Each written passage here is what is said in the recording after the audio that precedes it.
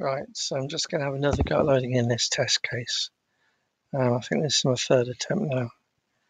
But um, I've got this, um, I've got a working directory. This is one of the OpenFOAM FEA solvers called um, Solid Elastic Plastic Foam. So I'll be given this test case by somebody else. I haven't created it myself. All I've done is I've just added um, this file in temp.foam. So there's a, foam file that I can load. So I go to ParaView, go to my working directory, um, which has got the solution in it, and load the temp file. And there's some warning message here about something not being valid, but it's an old version of um, ParaView. So that loads in the mesh. Oop, go look at the mesh. Well, looks very nice. Um, but uh, when you load it in, it's at time zero. Obviously, the solution files are numbered one through to five, so you can I can just skip straight to the latest solution. And then when I go over to the selector, um, what field I want to look at, I've got sigma, I've got epsilon, got u. So that's the stress, the strain, and the displacement. So I can quite easily load in uh, or look at the, um, the stress field. I can go to the the strains or I can go to um, the displacement. Um, so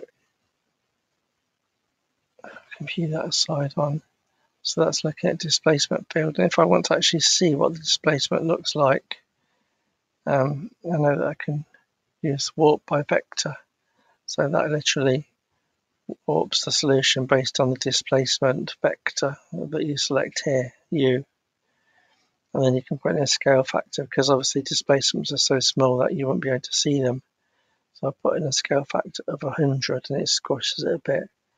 Can even put in a thousand, then you can really see um, how squashed it's become.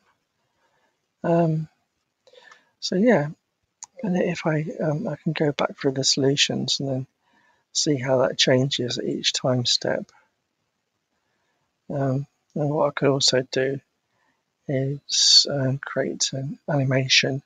So just go to File, Save Animation, and leave that at one frame per time step. Save animation. I've already done this before, but that will,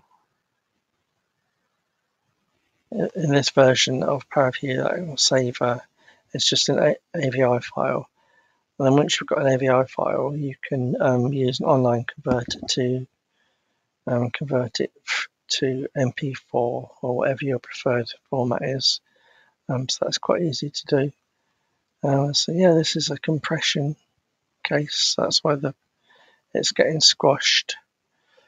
Um, you can even, if you select glyphs, then it will even show you what the the, the um, what the directions of the displacement vector is. So yeah, that's just a very quick demonstration of using ParaView to look at uh, one of the results from uh, an FEA analysis in OpenFOAM.